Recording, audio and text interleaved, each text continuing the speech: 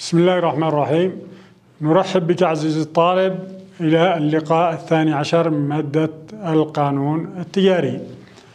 وينبغي أن تكون قادرا من خلال هذا اللقاء على تحديد آثار الإفلاس بالنسبة إلى المدين توضيح شروط منع المدين المفلس من الأعمال القانونية طبقا لمبدأ رفع اليد تبيين الدعاوي والإجراءات القضائية التي يجوز المفلس القيام بها تفصل آثار الإفلاس المتعلقة بشخص المدين تقييد الحرية حرية المدين المفلس سقوط الحقوق السياسية والمهنية للمفلس بالتدليس جرائم الإفلاس.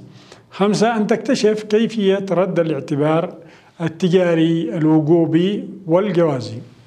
آثار الإفلاس يترتب على صدور حكم الإفلاس آثار هامة على المدين المفلس والدائنين. إذ بمجرد صدور حكم الإفلاس يجب أن تتهيأ الظروف المناسبة لإجراء التصفية الجماعية لأموال المدين لأنها الهدف الرئيسي من شهر إفلاسه ولكي تتم التصفية يجب حصر أموال المدين وتحقيق ديونه ويمنع من إدارة هذه الأموال والتصرف فيها ويمتنع الدائنون من اتخاذ أي تنفيذ انفرادي على أموال المدين. وقد أخضع المشرع تصرفات المدين المفلس خلال فترة الريبة للبطلان الوجوبي والبطلان الجوازي إذا كانت ضارة بالدائنين آثار الإفلاس بالنسبة للمدين غل يد المدين المفلس عن إدارة أمواله أو التصرف فيها تقييد حرية المدين المفلس.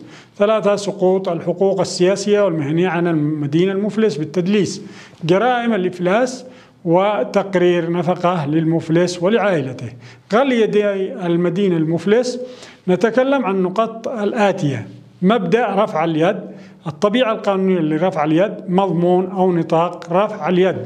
مبدأ رفع اليد تنص المادة 592 على أنه بمجرد صدور حكم شهر الإفلاس تغلي يد المفلس عن التصرف في أمواله وعن إدارتها وتعتبر جميع التصرفات التي يجريها المفلس يوم صدور الحكم المذكور حاصلة بعد صدوره وإذا كان التصرف ما لا يحتج به إلا بالقيد أو التسجيل أو غير ذلك من الإجراءات لم يسري على جماعة الدائنين إلا إذا تم الإجراء قبل صدور حكم الإفلاس. أي أن المفلس ترفع يده بمجرد صدور حكم الإفلاس ويحل محله سنديك التفليسة وهو ما يسمى بمدير التفليسة وتبقى يد المدين المفلس مغلولة عن إدارة أمواله طوال فترة التفليسة ولا يزال ذلك أو لا يزال ذلك إلا بانتهاء التفليسة أو بالصلح أو بالاتحاد.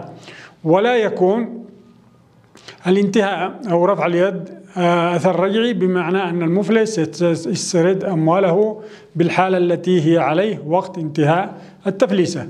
الطبيعة القانونية لرفع اليد غلي يد المدين لا يعني انتقال ملكية أمواله إلى جميع الدائنين بل يظل المفلس مالكا لأمواله رغم غل يده عنها.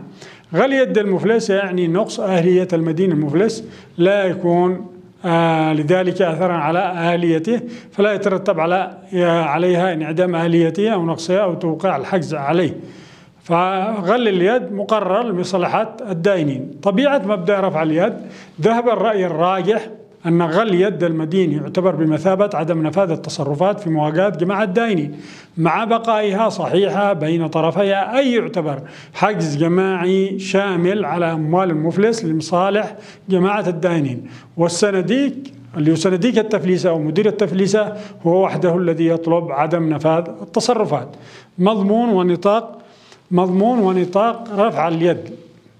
المقصود من رفع اليد منع المفلس من التصرف في أموال التفليسة والإخلال بالمساواة بين الدائنين ويشمل جميع أموال المفلس الموجودة في وقت صدور حكم الإفلاس والتي تؤدي أو التي تؤدى منه في المستقبل وهو في حالة الإفلاس مثل الهبة والميراث والوصية وتدخل في أموال التفليسة وتصبح من الضمان العام للدائنين استنادا لنص المادة 593 من القانون التجاري الفقرة ألف.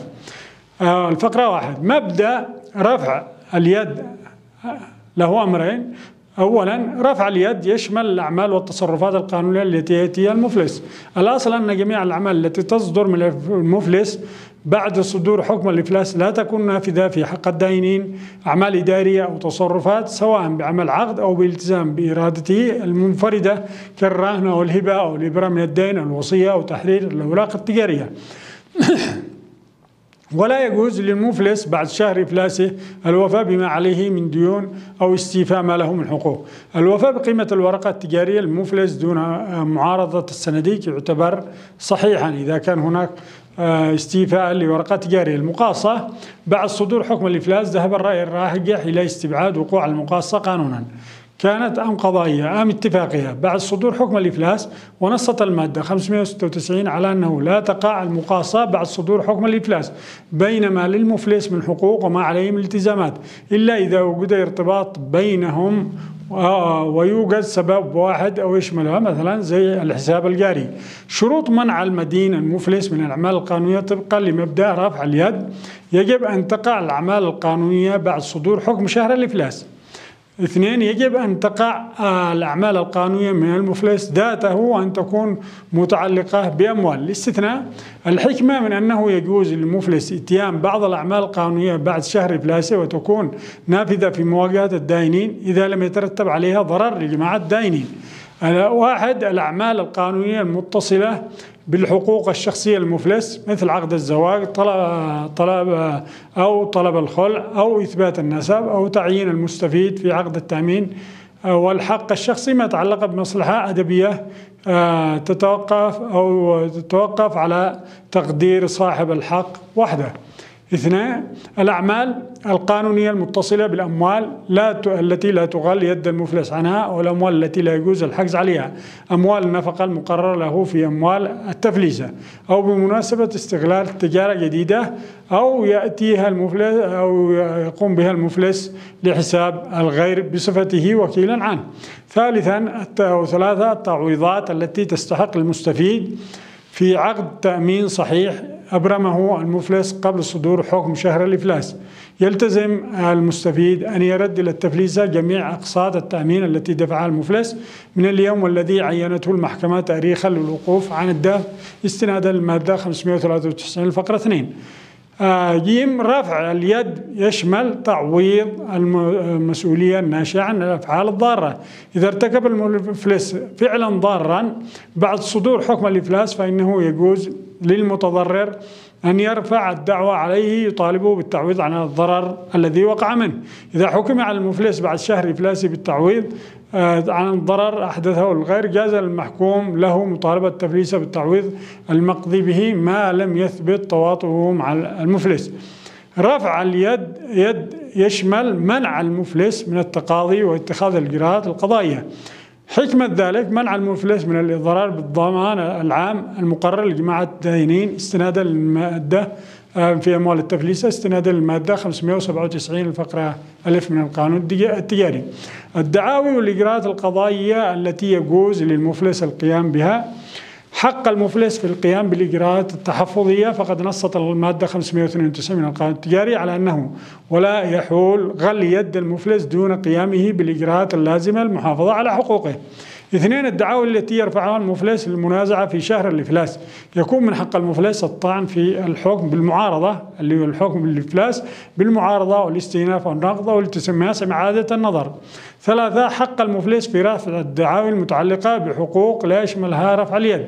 فقد يكون وكيلا على الغير مطالبة الغير بحقوق الأشخاص المشمولين المشمولين بولايته أو بوساطه افتراض أو اقتراض أموال لتجارة جديدة ويكون من حقه التقاضي بشأنها.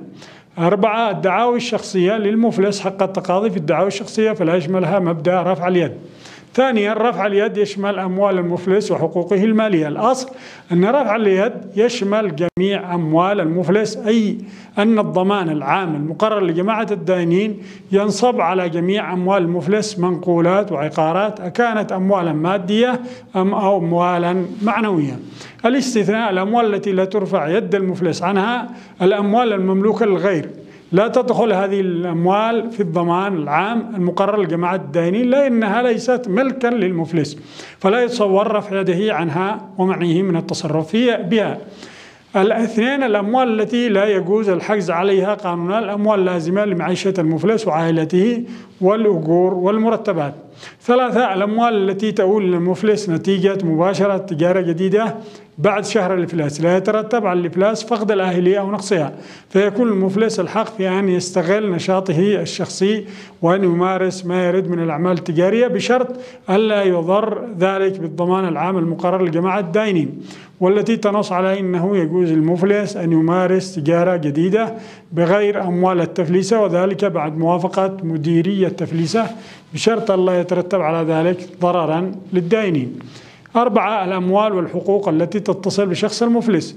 لا يد للمفلس لا يد المفلس على لا ترفع يد المفلس عن الحقوق المتصلة بشخصه كالزواج والطلاق والخلع والولاية على أموال وأولاد القصرى خمسة التعويضات المستحقة للمستفيد في عقد التأمين. آه صحيح أبرمه المفلس قبل صدور حكم الإفلاس. يلتزم المستفيد بأن يرد إلى التفليسة جميع أقساط التأمين التي دفعها المفلس من التاريخ الذي عينته المحكمة تاريخا للوقوف عن الدافع استنادا للمادة 593 من القانون التجاري فقرة ألف. آثار الإفلاس المتعلقة بالشخص المدين. سنتكلم فيها عن تقييد حرية المفلس سقوط الحقوق المدنية والسياسية والمهنية عن المدين المفلس بالتدليس عن المدين المفلس بالتدليس جرائم الإفلاس.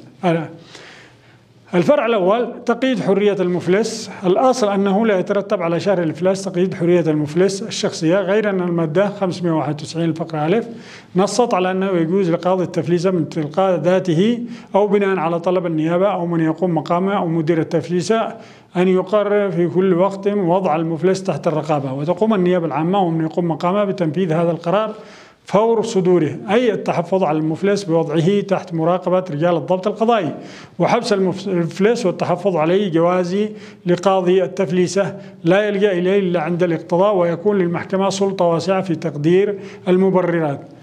آه فرار المفلس قد يكون من المبررات. فرار المفلس تبديد أمواله آه ترغمه على مساعدة صناديق التفليسة إذا لم يقوم بالتعاون مع مدير التفليسة أو ما يسمى صناديق التفليسة. الاستثناء إذا تقدم المدين المفلس نفسه للتوقف عن دفع ديونه التجارية مرفقا به تقرير ميزانية توضح مركزي المالي وذلك خلال 15 يوما من تاريخ توقفه عن الدفع.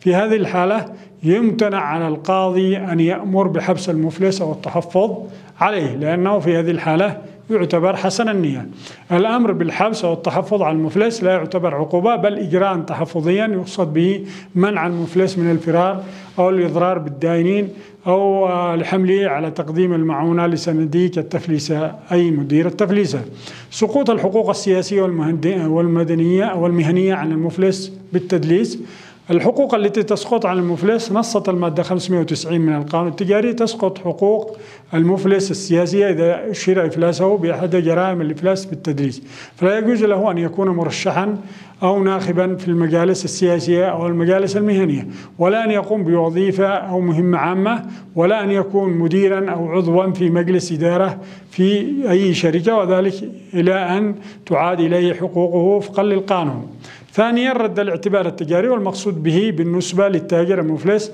تمكين المفلس من استعادة الحقوق التي سقطت عنه بشهر الإفلاس حتى يسترد مركزه الاجتماعي واحترامه بين أقرانه في عالم التجارة. شروط رد الاعتبار صدور حكم برد الاعتبار من المحكمة المختصة ولا يجوز رد الاعتبار إلا إلى المفلس الذي صدر عليه حكم في إحدى جرائم الإفلاس بالتدليس إلا بعد انقضاء خمس سنوات من تاريخ تنفيذ العقوبة أو العفو عنها أو سقوطها بمضي المدة. وأي لابد من صدور حكم برد الاعتبار من المحكمة المختصة. فيما عدا حالة الإفلاس بالتدليس تعود جميع الحقوق التي سقطت عن المفلس بعد انقضاء خمس سنوات من تاريخ انتهاء تفليسه.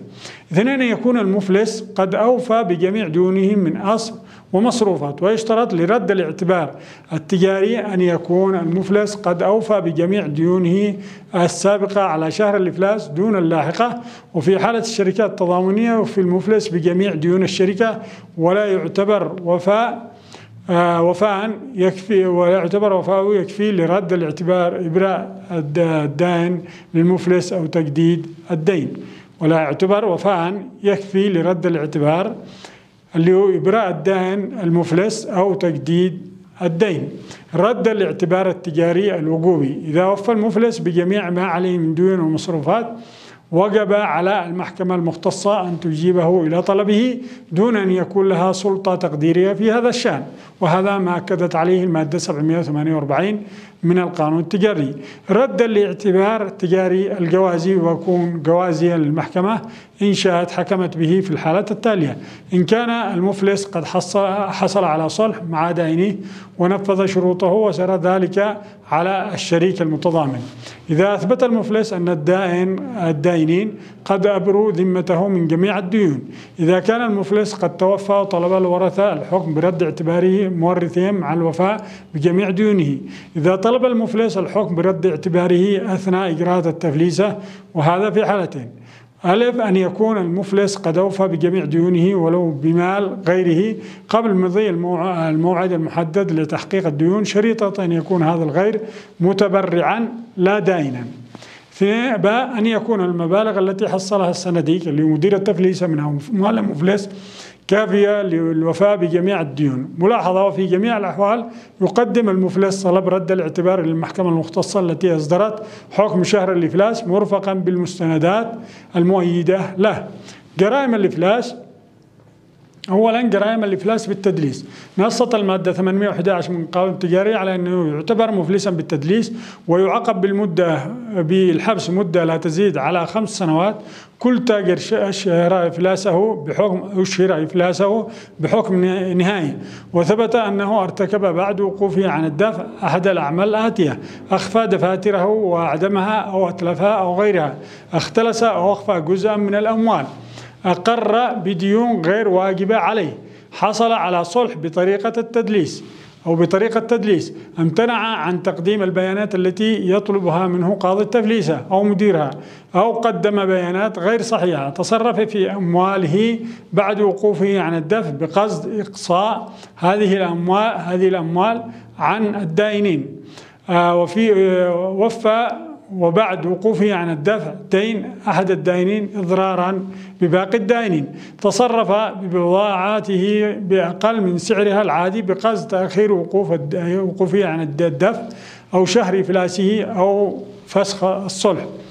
المطلب الثالث نتناول في عزيزي الطالب تقرير نفقة للمفلس وعائلته وهذا تحدثنا عنه فيما مضى. المبحث الثاني آثار الإفلاس بالنسبة للدائنين وتكلمنا عنها ويمكنك عزيزي الطالب الرجوع للكتاب للاستزادة نظرا لضيق الوقت. نشوء جماعة الدائنين كذلك وهي قلنا تنشأ جماعة واحدة وتعتبر لها شخصيتها الاعتبارية ويتعامل مجموعة الدائنين يعني لا يجوز أي تعاملات منفردة. يعني لا يتعامل أي شخص من الدائنين بتعامل إيش؟ منفرد أو يتقاضى الدين بمفردة بل يجب أن يتعاملوا كمجموعة واحدة وأن يتم خاص وأن يتم التعامل مع هذه الجماعة بأن يتم تقسيم أموال التفليسة عليهم جميعا أموال المدين عليهم جميعا بحسب نسبة دينهم. الفرع الثاني وقف الدعاوي والإجراءات الانفرادية من الدائنين على أموال المفلس. يعني يجب توقيف جميع أي إجراءات انفرادية تتم من أي دائن ويجب إدخال جميع الدائنين في التفليسة أو ما يسمى بجماعة الدائنين سقوط كذلك أجال الدين جميع أجال الدين تسقط ويدخل جميع الدائنين في التفليسة أو في جماعة الدائنين وتصبح ويصبح ويتعاملوا أو يتم التعامل معهم ككيان واحد. وقف سريان الفوائد كذلك إذا كانت هناك فوائد سارية على الديون أو حقوق للمفلس في هذه الحالة يتم توقيف سريان هذه الفوائد أو حتى للدائنين ويتم دمج إدراجها أو إدراج الأموال في التفليسة ويتم قسمة أموال التفليسة على جميع الدائنين قسمة غرماء يعني بحسب نسبة ديونهم. آثار الإفلاس بالنسبة للتصرفات السابقة عن على الحكم بشهر الإفلاس هذا تحدثنا عنها كذلك وأخذنا عنها فكرة في فيما مضى. تحديد فترة الريبة تكلمنا فترة الريبة هي فترة التوقع يعني الفترة الواقعة بين توقف المدين عن سداد ديونه التجارية وصدور حكم حكم الإفلاس. كذلك البطلان الوقوبي والبطلان الجوازي وبطلان قيود حقوق الامتياز والرهون العقارية خلال فترة الريبة لأنه فيها إضرار بجماعة الدائنين وهذه الفترة تعتبر واقعة بين توقف الدائن عن سداد ديونه التجارية وصدور حكم الإفلاس. وفي هذه الفترة أي تصرفات قد تصدر من المدين المفلس المتوقف عن دفع الديون التجارية قد يكون الهدف منها هو الإضرار بالدائنين دعوى بطلان التصرفات الصادرة خلال فترة الريبة وفي هذه الحالة يحق للدائنين أو المجموعة الدائنين آه، رفع دعوى ببطلان جميع آه، أمام القاضي المختص اللي هو قاضي المحكمة التجارية أو من منظور التفليسية ببطلان جميع التصرفات التي صدرت عن المفلس في فترة الريبة. وهي كما ذكرنا عزيز الطالب الفترة الواقعة بين آه، توقف الدائن المفلس عن دفع ديونه التجارية وصدور حكم الإفلاس. لأن هذه الفترة ممكن أن يقوم المدينة المفلس بعدد من التصرفات أو بمجموعة من التصرفات التي تضر بالدائنين. وذكرنا أن الهدف من ذلك أو من صدور حكم الإفلاس وإشهار حكم الإفلاس هو حماية مجموعات الدائنين وليس آه، آه، وليس يعني حتى الهدف من غل أو رفع يد المدين المفلس هو المحافظة على مجموعات الدائنين وعلى ديونهم. عزيزي الطالب لتحقيق الأهداف هذا اللقاء فقد تناولنا آثار الإفلاس بالنسبة إلى المدين لغل يد المدين المفلس تقييد حرية المدين المفلس سقوط الحقوق السياسية والمهنية عن المدين المفلس بالتدليس. كذلك تناولنا جرائم الإفلاس تقرير نفقة للمفلس كذلك وعائلته. فقد تكلمنا عن كذلك آه، غل يد المدينة المفلس حيث درسنا مبدأ رفع اليد وطبيعته القانونية ومضمون رفع اليد ونطاق رفع اليد. ووقفنا على شروط منع المفلس من الأعمال القانونية طبقا لمبدأ رفع اليد. وبينا الدعاوي والإجراءات القضائية التي يجوز للمفلس القيام بها وتحدثنا عن آثار الإفلاس المتعلقة بشخص المدينة المفلس. آه تقييد حرية المدينة المفلس سقوط الحقوق السياسية والمهنية آه للمفلس بالتدليس. جرائم الإفلاس بينا المقصود برد الاعتبار التجاري وشروط رد الاعتبار التجاري الوجوبي والجوازي وشكرا لحسن استماعكم.